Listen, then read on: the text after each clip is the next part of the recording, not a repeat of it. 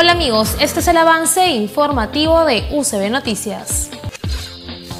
El jurado electoral especial y el gerente de educación exigen a candidato Raúl Álvarez retire el panel ubicado en la azotea de centro educativo privado.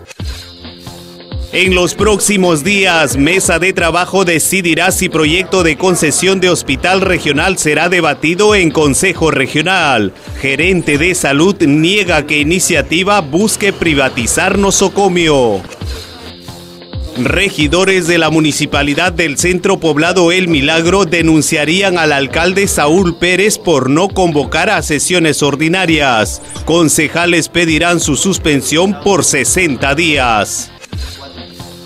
Delincuentes disparan contra conocido bar en urbanización El Recreo y dejan herido a vigilante. Propietario denuncia que fascinerosos le exigen 5 mil soles mensuales.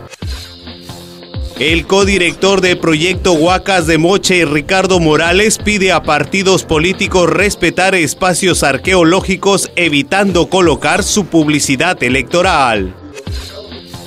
Anciana muere aplastada por un vehículo de carga frente al hospital Víctor Lazarte. La longeva mujer habría cruzado la pista sin percatarse del cambio de luz del semáforo. Esto fue tan solo un adelanto de lo que verán esta noche a las 8 en la edición central de UCB Noticias. Permiso.